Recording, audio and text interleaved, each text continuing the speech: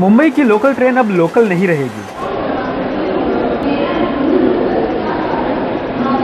हो सकता है कि जल्द ही लोकल में अधिक भीड़ के समय आपको अपनी यात्रा के लिए ज़्यादा किराया चुकाना पड़े। बता दें कि मुंबई उपनगरीय रेलवे को पिछले दो तीन वर्षों में लगभग तीन से चार हज़ार करोड़ रुपए का वार्षिक नुकसान हुआ है। इस नुकसान की भरपाई के लिए ही यह विकल्प खोजा जा रहा है। इस नए विकल्प के अनुसार ओला उबर की तर्ज पर रेलवे किराए की दरें अलग अलग समय पर अलग अलग रखने का प्रस्ताव रेलवे प्रशासन द्वारा रखा गया है। आइए जानते हैं, क्या है यह प्रस्ताव? इस प्रस्ताव के तहत ओला उबर की तर्ज पर भीड़ को देखते हुए रेलवे के किराए बदल जाएँगे। प्रतिदिन भीड़ के वक्त रेलवे से सफ़र के लिए अधिक किराया देना पड़ेगा। भीड़ न होने पर ट्रेन का किराया मूल टिकट दर ही होगा।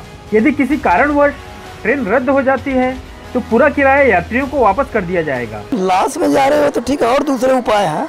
दूसरे उपाय से जो उस लाश को पूरा किया जाए लेकिन गरीब जनता पर इस तरह से अधिभार लाद करके जो कि एकदम रेलवे से वही व्यक्ति यात्रा करता है जो कि गरीब हो तो उनके ऊपर इस तरह से अधिभार लादना एक तरह से तुगल की फरमान होगा और हम लोग इस तरह के यदि कोई प्रपोजल यदि आता है रेलवे का तो हम लोग मिल करके उसका विरोध करेंगे। मुझे वो ठीक नहीं लग रहा है प्रपोजल। लॉस में चल रही है तो उसका खाली रेट बढ़ा देने से क्या होगा हर समय रेट बढ़ा दो।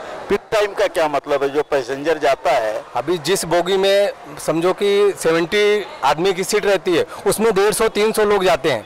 तो कैसा रेलवे का मेरे को नहीं समझ में आता कि कैसा उनको नुकसान या घाटा रहता है। फिर बढ़ाने का बढ़ाने से क्या फ़ायदा है? अगर वो बढ़ाओ जब पब्लिक को आराम से जाने को मिलेगा तो वो बढ़ाओ ना हम पब्लिक तो ऐसे ही तड़प तड़प मर रही है। रेलवे का कितना क्या करेगा? एटलीस्ट आवर में सारी गाड़ियाँ पंद्रह डब्बे की होनी चाहिए जो कि लॉन्ग डिस्टेंस की है जैसे विरार हो गया धानु हो गया। उसके बारे में तो जल्दी से जल्दी कुछ करना चाहिए। खाली बोलने गवर्नमेंट है ना गवर्नमेंट है ना जो भी करता है वो पब्लिक को पब्लिक के लिए करता नहीं है। खाली पैसे के लिए करता है। नहीं हम लोग कहाँ- जाएगा कहाँ चलेगा?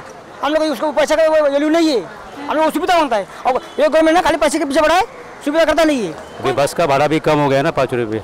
दस का पाँच हुआ सब ट्रेन का क्यों बढ़ा रहे? हैं? तो उल्टा बढ़ाने के बदले में रेट कम किया तो ज़्यादा पब्लिक आएँगे और इनका भी ज़्यादा बढ़ेगा। इसके साथ ही वन नेशन वन कार्ड योजना को भी अमल में लाए जाने पर विचार किया जा रहा है। यदि यह प्रस्ताव मान्य किया जाता है तो अधिक वो कम भीड़ के वक्त रेलवे किराए में बदलाव की सूचना जारी कर दी जाएगी। ऐसे में, ओला और उबर की तरह सुबह और शाम की भीड़ के वक्त रेलवे किराए की दरें बदल जाएँगी। कैमरामैन दीपक उपाध्याय के साथ मैं विनोद यादव, सुर्खिया न्यूज़ मुंबई।